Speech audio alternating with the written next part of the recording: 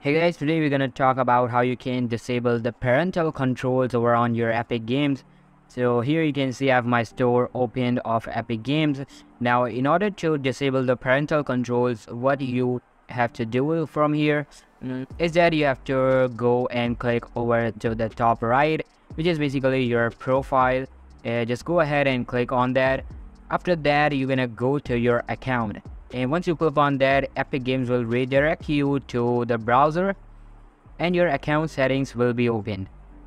Now in the left if you will see it there are some options here.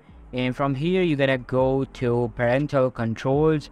Now previously if you don't have set it any kind of pin over here so on first it will ask you to set a pin. But if you have set it then obviously you have to enter your pin here click confirm and your parental controls will be opened. Now just uncheck all these boxes uh, and turn off these settings like uh, Epic Games voice chat permission just select nobody. Epic Games text chat permission just select nobody. And mature language just uh, toggle this off. Playtime tracking report. You're gonna toggle this off too then epic friends permission you're gonna also toggle this off.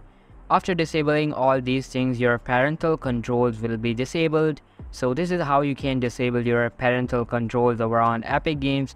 So this is it for today's video guys. I hope you have liked the video. Make sure to give this video a huge thumbs up subscribe to our channel. Thank you so much for watching